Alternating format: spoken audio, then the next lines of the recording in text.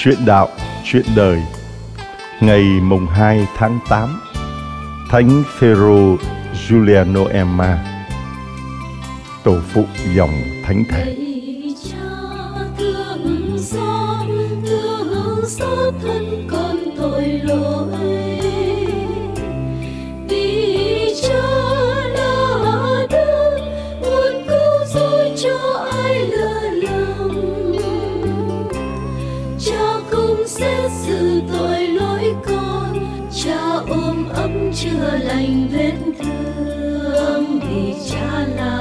xót thương. Cha là đấng nhân từ với lòng thương xót. Cha là đấng nhân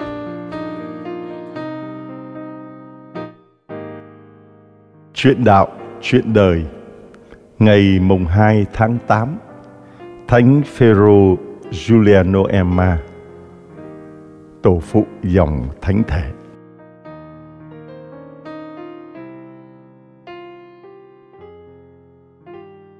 Thánh Phêrô Giuliano Emma sinh năm 1811 tại một ngôi làng nhỏ thuộc giáo phận Grenoble ở nước Pháp. Phêrô đã phụ giúp thân phụ mình chế đúc và sửa chữa các loại lưỡi dao cho đến năm 18 tuổi. Phêrô dùng các giờ rảnh rỗi để học hành. Ngài tự học Latin. Phêrô được một linh mục có lòng quảng đại hướng dẫn đức tin.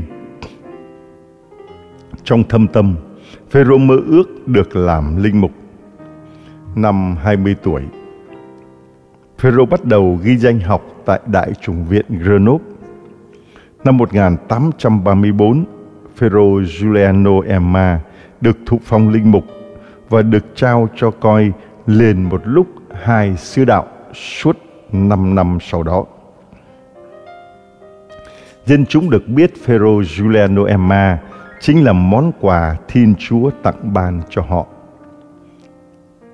Sau đó, cha Emma xin phép Đức Giám mục giáo phận để được gia nhập hội dòng truyền giáo Đức Bà do cha Colin mới sáng lập lúc ấy và được Đức Giám mục chấp nhận.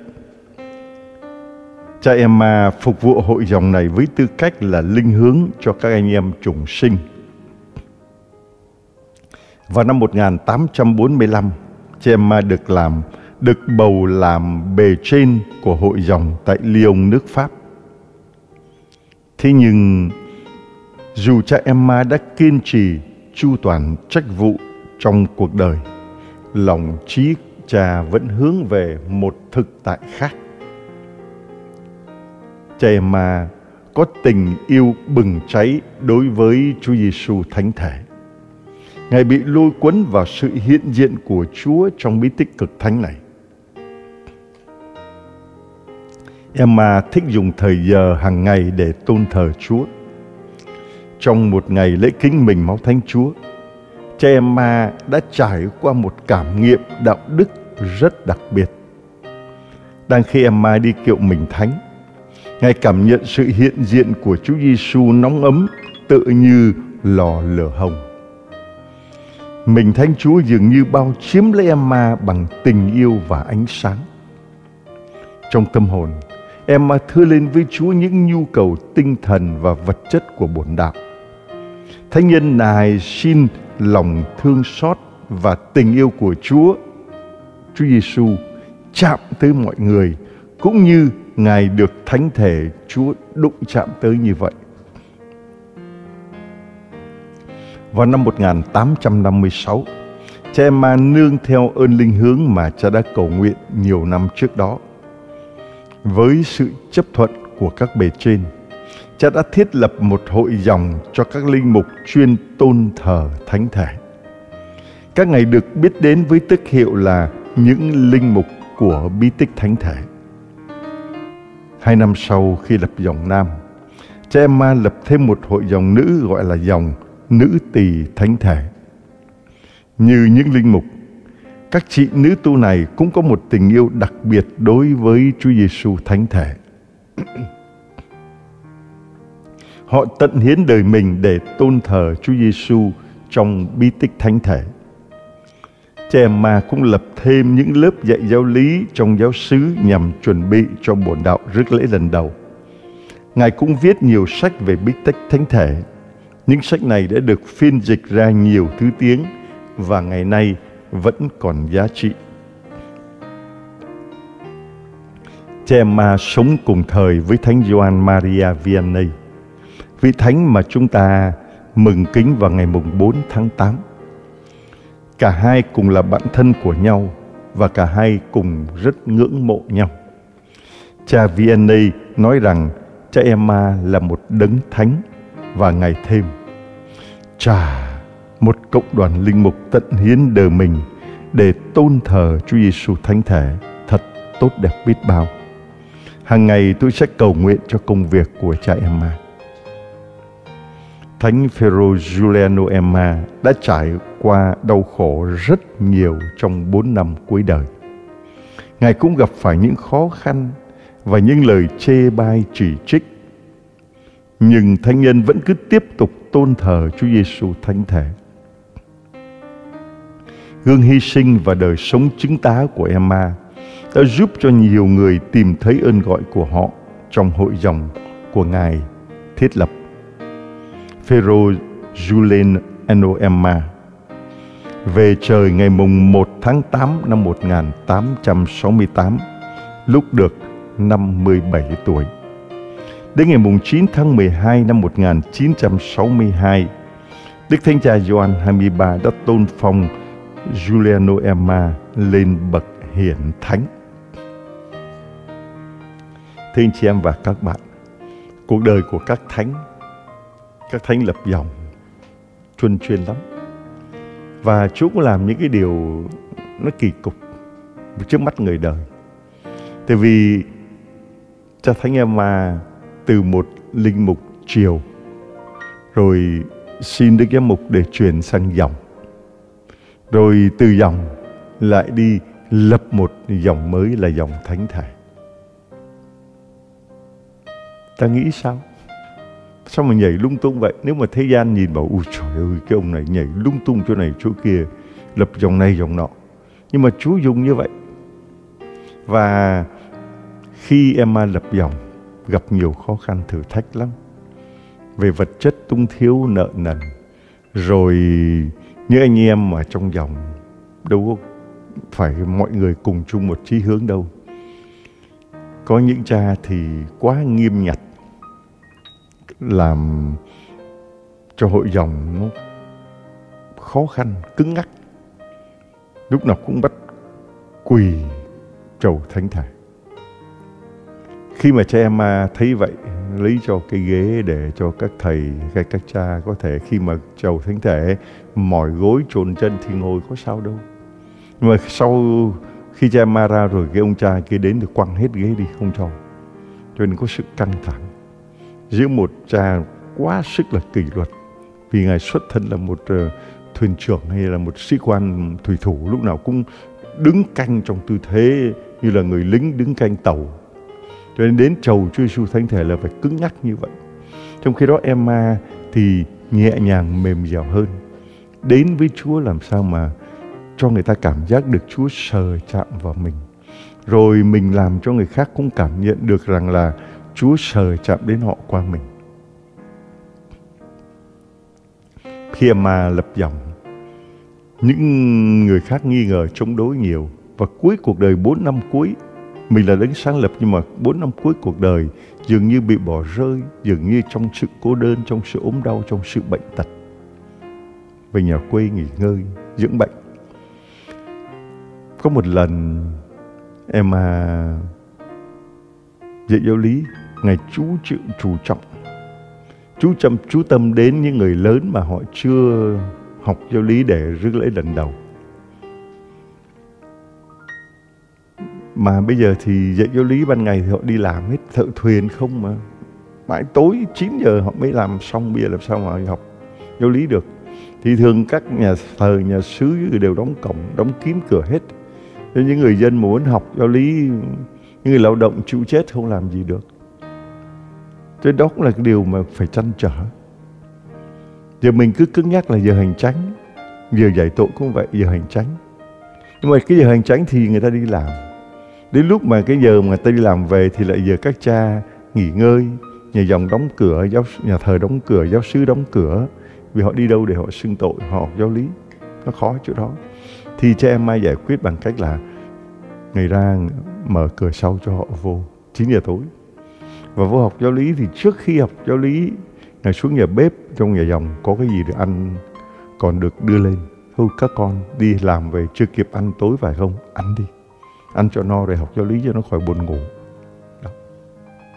dễ thương như vậy mà lúc mỗi khi mà ngày giảng về thánh thể người ta bảo là tóc dựng đứng lên say sưa nói về thánh thể tôi có cảm nhận được điều đó khi mình nói về lòng thương xót Chúa cũng vậy. Nói về lòng thương xót Chúa là mình say sưa mình nói và cứ ào ào tuôn ra. Bất kể ở đâu, bất kể ngày giờ, bất kể chỉ có một người cũng vậy mà mười ngàn người hay là một trăm ngàn người mình vẫn cứ nói một cách say sưa như vậy. Thì điều đó rõ ràng là không phải mình nói mà Chúa Thánh Thần nói.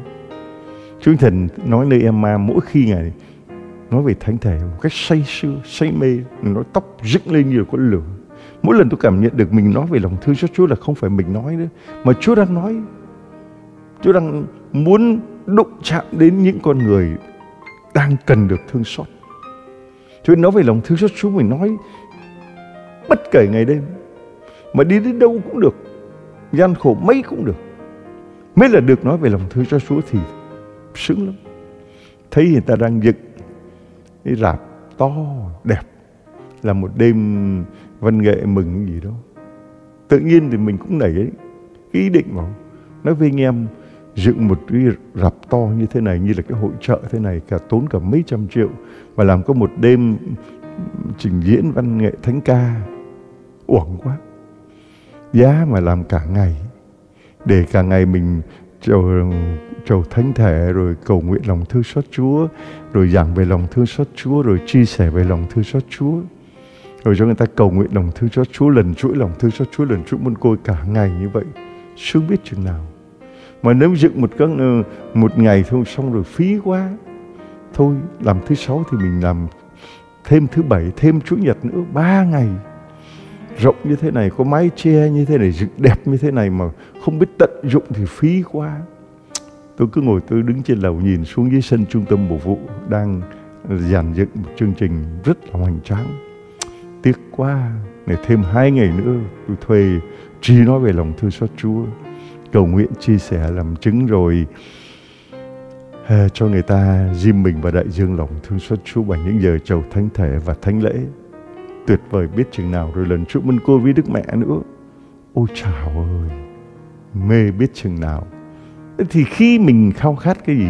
Như là thánh Emma khao khát thánh thể thì ngài chỉ nghĩ đến thánh thể và nói về thánh thể. Nói về việc tôn sùng thánh thể mong ước người ta đến với thánh thể thì mình khao khát lòng thương xót Chúa, cũng chỉ muốn nói về lòng thương xót Chúa, cầu nguyện lòng thương xót Chúa và làm sao để người ta càng đến với lòng thương xót Chúa, càng nhiều bao nhiêu thì Chúa nói, ta vui mừng bấy nhiêu. Thánh Phêrô đoàn công quý và Thánh Emmanuel Lê Văn Phụng, linh mục và câu họ từ đạo.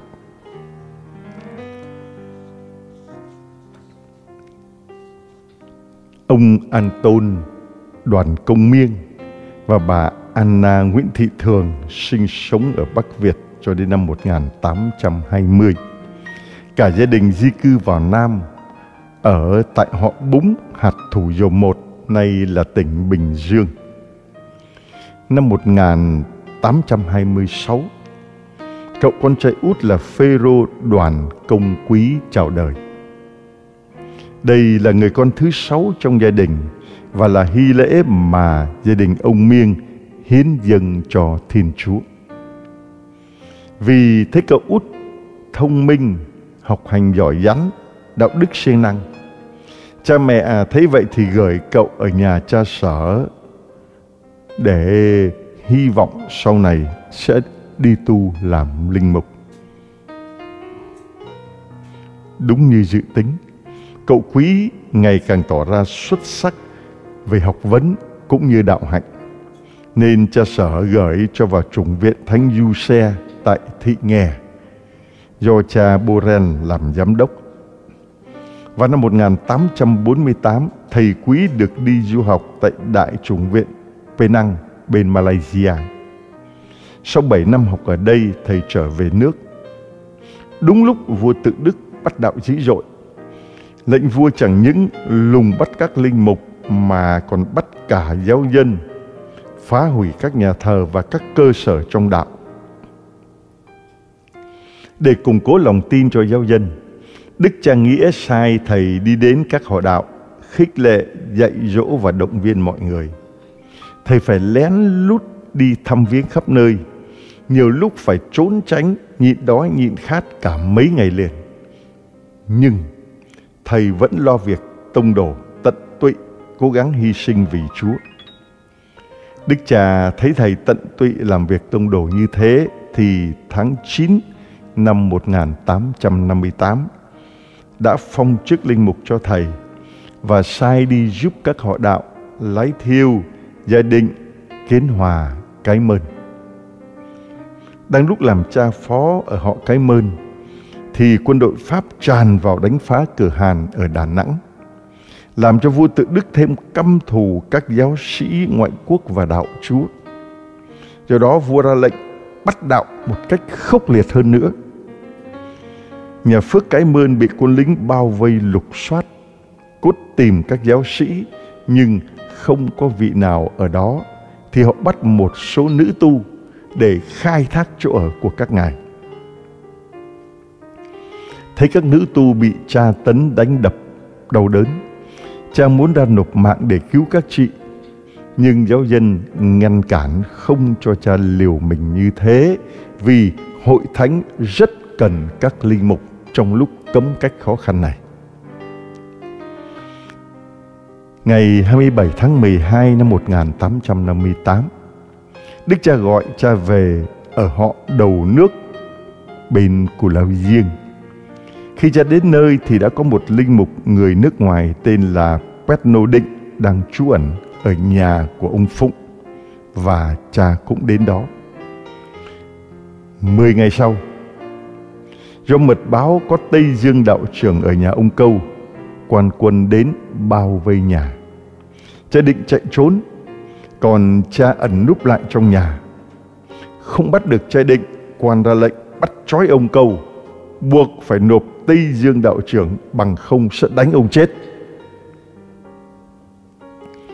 Thấy vậy, sợ ông Câu bị đánh chết, cha ra nộp mình tự nhận là đạo trưởng để cứu sống ông Câu. Thật, cha là một linh mục đã hy sinh, gương mẫu, đã một lần định nộp mình cứu các nữ tu, nay lại đứng ra lãnh cái chết vì con chiên của mình. Thấy cha quý còn trẻ, quan không tin ngay, liền hỏi em nhỏ 10 tuổi, cháu nội của ông Phụng, xem đạo trưởng là ai. Đứa bé chỉ ngay vào cha quý và thưa, bẩm ông này ạ. Thế là cha và ông Câu cùng với 32 giáo hữu bị bắt giải về tỉnh Châu Đốc ngày mùng 7 tháng Giêng năm 1859. Gần 7 tháng bị giam trong ngục, cha phải mang gông cùm xiềng xích nặng nề. Nhiều lần bị cha tấn đánh đập dã man, khổ sở, nhưng cha vẫn cương quyết trung thành theo Chúa. Có lần quan hỏi, Thầy là người thanh liêm, nhân từ đức hạnh, tại sao lại mê theo tà đạo? Hãy nghe ta mà bỏ cái đạo đó đi cho quý trả lời, Thưa quan, tôi là người giảng dạy đạo này, sao lại có thể bỏ đạo được? Và nữa, đây là chính đạo vì chỉ dạy những điều tốt lành chứ không phải là tà đạo như quan hiểu lầm đâu. Quan ra lệnh tống giam rồi tiếp tục dụ dỗ đe dọa nhưng không kết quả. Vì thế sáng ngày 31 tháng 7, quân lính dẫn cha ra pháp trường trảm quyết theo bản án vua đã châu phê. Emmanuel Lê Văn Phụng sinh năm 1796 tại họ đạo Đầu Nước ở Cù Lao Diêng, tỉnh An Giang, Châu Đốc. Nhờ ảnh hưởng đạo đức của gia đình, Emmanuel Phụng lớn lên rất ngoan đạo, hiền lương nhân đức, được mọi người lương cũng như giáo quý mến tín nhiệm. Do đó, ông được dân làng bầu lên chức lý trưởng, còn trong họ đạo thì chọn làm ông câu họ. Việc đời, việc đạo, ông đều nhiệt thành, phục vụ, sẵn sàng hy sinh cho công ích. Điều ích nước lợi dân, ông không nề lao nhọc. Việc chi làm sáng danh Chúa, ông luôn cố sức thi hành. Dù gặp phải nhiều khó khăn, nguy hiểm, đe dọa tính mạng. Nhờ ông họ đạo đã được tái thiết được ngôi đường, ngôi thánh đường khang trang. Cất nhà cho các nữ tu và là nơi trú ngụ khá an toàn cho các giáo sĩ. Viên quan địa phương một phần vẫn nhận tài trợ của ông, một phần vẫn thấy sinh hoạt tôn giáo không có gì nguy hiểm, nên cho người báo tin trước khi phải kiểm tra theo lệnh trên.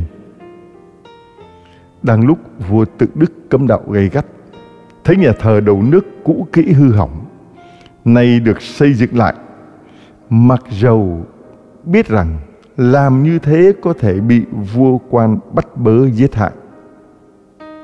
Lúc đó có hai người ngoại đạo ham mê cờ bạc rượu chè. Thấy ông làm việc vua cấm như thế thì đến hăm dọa làm tiền, muốn tống tiền. Nhưng ông không chịu lo lót tiền bạc cho họ, nên họ tức giận đến tố cáo với quan huyện. Quan này đã nhiều lần nhận tài trợ của ông nên nhắm mắt làm ngơ. Biết thế, hai người này tìm cách khác để báo thù ông. Họ theo dõi, thấy ông chứa chấp linh mục ngoại quốc là cha Pet Nô Định. Họ liền đến báo cáo với quan tỉnh Châu Đốc. Sáng ngày mùng 7 tháng Giêng năm 1859, quan quân kéo nhau đến bao vây nhà ông Câu Phụng. thầy may cha định trốn thoát còn cha Phêrô quý mới đến làm cha sở họ đạo thì ẩn trú ở trong nhà. Không bắt được cha định, quan cho bắt trói ông câu phụng buộc phải nộp Tây Dương đạo trưởng, tức là cha định, bằng không sẽ đánh ông chết. Sợ quân linh đánh chết ông, cha quý liền thú nhận mình là đạo trưởng. Thế là hai cha con bị bắt giải về châu đốc. Vì có người tố cáo Ông Câu khẳng khái xác nhận mình đã từng tiếp đón và cho các thừa sai nước ngoài trọ tại nhà. Nhưng sau đó, dù có tra tấn cách nào, ông cũng không khai thêm chi tiết nào khác về các thừa sai và cương quyết không bỏ đạo. Trong thời gian gần 7 tháng bị giam giữ tra tấn, ông Phụng vẫn luôn can đảm giữ vững đức tin, không bước qua thập giá, không bỏ đạo thấy không lay chuyển nổi lòng tin sắt đá kiên vững của vị anh hùng này. Quan trấn Châu Đốc làm án gửi về kinh và vua tự Đức đã châu phê. Ngày 10, ngày 31 tháng 7 năm 1859, quân lính điệu ông ra pháp trường suy giáo, tức là siết cổ bằng dây cho đến chết, gọi là xử giáo. Trước khi chết, Ông đã chối xin các con tha thứ cho kẻ tố cáo ông. Theo gương Chúa Giêsu đã xin Chúa Cha tha cho kẻ đóng đinh mình vào thập giá. Ông đeo vào cổ con gái của mình ảnh thánh giá và nói: Con ơi, hãy nhận lấy kỷ vật của ba. Đây là ảnh Chúa Kitô, Chúa chúng ta. Ảnh này quý hơn vàng bạc bội phần con hãy luôn mang nơi cổ và trung thành cầu nguyện sớm chiều con nhé. Và ông dặn con của mình, con ơi, hãy tha thứ, đừng tìm báo thù kẻ tố giác cha nhé. Đó là lời chăn chú cuối cùng của Emmanuel Lê Văn Phụng cho con trai trước khi bị xử chém, xử dạo. Và ông căn dặn con trai của mình là đừng chôn cất rầm rộ và nhớ chôn ông bên cạnh cha sở của mình. Ông quỳ gối xin cha quý giải tội cho. Rồi hai chứng nhân quỳ gối cầu nguyện. Sau ba tiếng chiêng, vị linh mục bị chém đầu, còn ông Phụng thì bị siết cổ bằng dây thừng do hai người kéo hai đầu. Ngày mùng 2 tháng 5 1909, Đức Thánh Cha Pio thứ 10 đã tôn phong cha Lê cha Phêrô Quý và ông câu Emmanuel Phụng lên bậc chân phước. Và ngày 19 tháng 6 năm 1988, Đức Thánh Giáo Hoàng Gioan Phaolô II đã suy tôn các ngài lên bậc hiển thánh. Amen.